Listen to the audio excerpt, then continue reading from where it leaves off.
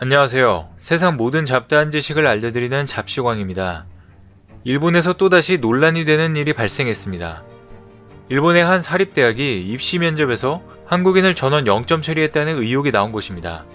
만약 이게 사실이라면 정말 말도 안 되는 일인데요. 게다가 이 학교는 아베 총리의 친구가 이사장으로 있어 특혜 의혹이 끊이지 않는 곳이기도 합니다. 그곳은 오카야마 이과대 수의학부로 지난해 입시에서 한국인 응시자를 전원 불합격시켰으며 이를 위해 면접 점수 0점을 주는 등 부당한 행위가 있었다고 일본 주간지에서 폭로한 것입니다. 슈칸 분슌이라는 주간지 보도에 따르면 오카야마 이과대 수의학부가 작년 11월 16일 실시된 입시 면접에서 한국인 지원자 8명 전원에게 0점을 줬으며 이로 인해 이들이 모두 불합격됐다고 해당 사학법인 관계자의 발언과 응시자의 영역별 득점 현황에 담긴 내부 문건을 토대로 보도했습니다. 보도에 따르면 당시 시험은 두 개 과목 시험과 면접 시험, 고등학교 성적을 각각 50점 만점으로 해 총 200점 만점으로 평가됐다고 합니다. 그런데 한국인 학생 8명의 면접 점수는 모두 0점 처리되면서 이에 따라 이들은 모두 최종 불합격된 것입니다. 주간지가 공개한 학교 내부 자료에 따르면 불합격한 어떤 지원자의 경우 학과 시험 2개 과목과 면접, 고교 성적을 반영한 평점 평균치 등 4가지 영역에서 46점, 47점, 0점, 35점으로 합계 128점을 받았는데 만약 그가 면접에서 10점이라도 받았으면 합격했을 것이라고 각해 학원 간부급 직원이 밝혔습니다. 그러면서 그는 지금까지 면접 시험에서 0점은 본 적이 없다며 형평성을 중시하는 입시에서 국적 차별이 이루어지고 있는 사실에 분노한다고 덧붙였습니다. 이에 대해 이 학교 수의학부 교수진의 해명은 한국인 응시생 모두가 일본어 의사소통이 부족했다고 했다는데요. 하지만 일본어로 된 과목 시험에서 만점에 가까운 성적을 낸 한국인 학생도 있었는데 한국인 응시자 전원이 일본어를 아예 못한다는 설명은 이해를 할 수가 없는 부분입니다. 이에 관해 일본 정부는 사실관계를 파악하고 있다고 반응했는데요.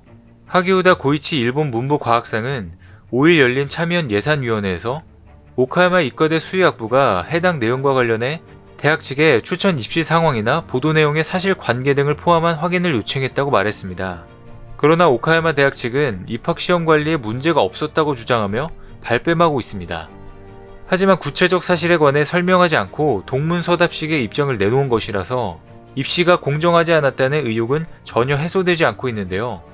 각해학원의 우주미 요시아키 준법 추진실장은 한국인 응시자를 차별했다는 보도에 관한 질문에 5일 입학 선발 시험은 일관되며 적절하게 실시되고 있다고 답했습니다. 우주미 실장은 한국인 유학생이 복수의 선발 시험을 거쳐 2020학년도 입시에서 4명 합격한 것을 비롯해 전체 13명의 한국인 유학생이 오카야마 이과대 수의학부에 재적 중이라고 설명했습니다. 하지만 문제가 된 내용은 A방식 추천 입시에서 한국인 지원자 8명에게 면접 점수 0점을 줘서 탈락한 것인데 우주미 실장은 다른 전형을 통틀어 4명의 합격자가 있다고만 밝히면서 해당 질문에 대해서는 명확하게 답하지 않고 있습니다.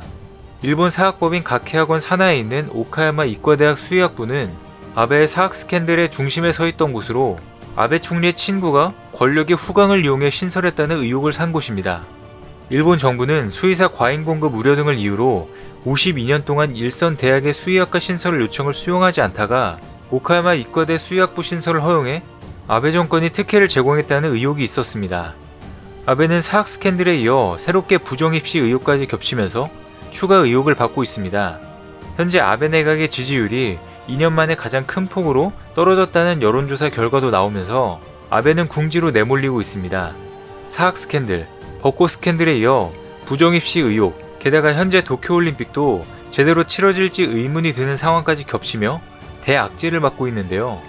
정권의 입지가 흔들리면서 집권 자민당 총재로서 내년 9월 말까지 임기를 1년 반 정도 남긴 아베 총리의 앞날이 어떻게 될지 관심이 고조되고 있습니다. 오늘 준비한 소식은 여기까지입니다. 앞으로도 전 세계에서 벌어지는 잡다한 이슈와 지식들을 재미있고 정확하게 정리해서 전달드리겠습니다. 시청해주셔서 감사합니다.